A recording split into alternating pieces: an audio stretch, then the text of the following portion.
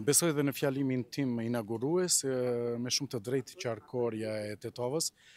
një segment i cili përfshin nga korridori nga autostrada Tetovë-Shkup, nga vendbanimi Trebosh, deri në vendbanimin e komunës tonë në Neproshten,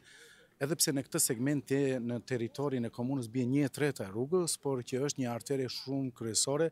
për të lehtësuar komunikimin e qytetarëve, komunikimin e transportit, komunikimin e të gjithë kompanive dhe operatorëve ekonomik, të gjithë atyre të cilët kanë shfrytzuar këtë magistrale për t'u lidhur drejt korridorit 8 për të vazhduar në drejtim të Shqipërisë, në drejtim të vendeve fqinje, tashti kjo e thjeshton dhe lehtëson gjithë atë komunikim dhe frekventim të maqinave, të transportit dhe gjithçka, dhe për të cilën besojmë se është një investim i kost dhe i duhur dhe në momentin e seancën e parë të Këshillit të Komunës i cili u mbajt në muajin janar, ne në prioritetet e realizimin e këtyre projekteve kapitale për vitin dy mijë e njëzet e katër, pika e parë e këtyre prioriteteve është rikonstruimi i rrugës Dobrosht-Nerasht ose Nerasht-Dobrosht si ta quajmë anasjelltas, gjë për të cilën ne kemi fokusuar të gjithë kapacitetet dhe resurset e komunës për realizimin e këtij projekti kaq të rëndësishëm.